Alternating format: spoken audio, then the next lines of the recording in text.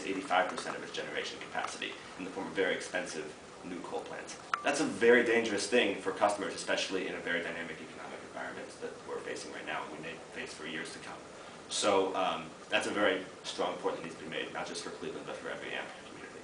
And then finally, the report found that there, happily, there is a, a more financially secure way forward for AMP and its members. It is to cancel the coal plant, aggress, uh, invest aggressively in energy efficiency, invest aggressively in combined heat and power in Ohio, and then finally invest in low-cost renewable generation. Let me just expand on combined heat and power for a second.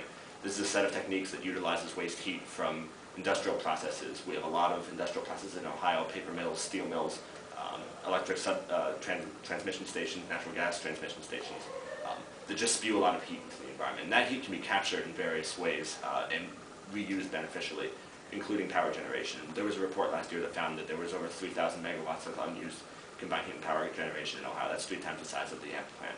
Um, that is not being used, and combined heat and power can be brought along uh, twice as fast and twice as cheaply, uh, and with no associated carbon emissions uh, than a new coal plant. So that's what our report found.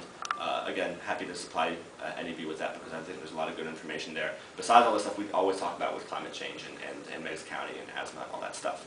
Um, if we wanted to speak to people's pocketbooks, we need to have some of these numbers in our hands. So talk to me afterwards and uh,